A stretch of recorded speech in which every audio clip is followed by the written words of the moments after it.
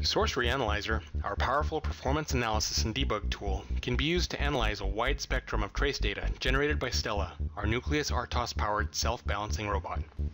Arvind Raghuraman, staff engineer on the Nucleus RTOS team and creator of Stella, will give you a tour of Stella's application layer trace visualization. Uh, I'm going to now uh, switch over to a previous trace data acquisition that I've done just to show uh, a high level overview of uh, all the various data visualizations that, that can be done for this particular application. So uh, this, this is the visualization. So we're looking at the CPU state. Here is the CPU utilization profile. And then these are the various tasks and uh, interrupts and high level interrupt source routines present in the system.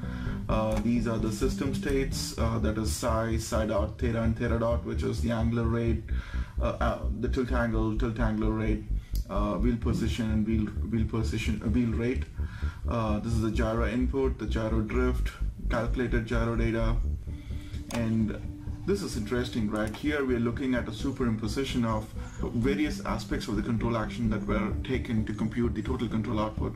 So this is the control effort that's proportional to uh, the tilt angle, the control effort proportional to the tilt angular rate, uh, similarly effort proportional to wheel position and wheel rate.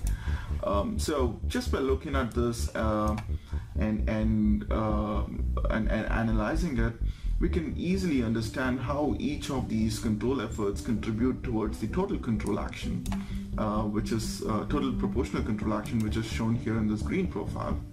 And then we have the integral control action in this blue profile. And um, the sum of these two basically provides the total control action. This brief tour of previously instrumented Stella application layer variables demonstrates a small fraction of the analysis made possible by Sourcery Analyzer, our powerful performance analysis and debug tool. Learn more about Mentor Graphics embedded software platforms, tools, and services at mentor.com/embedded.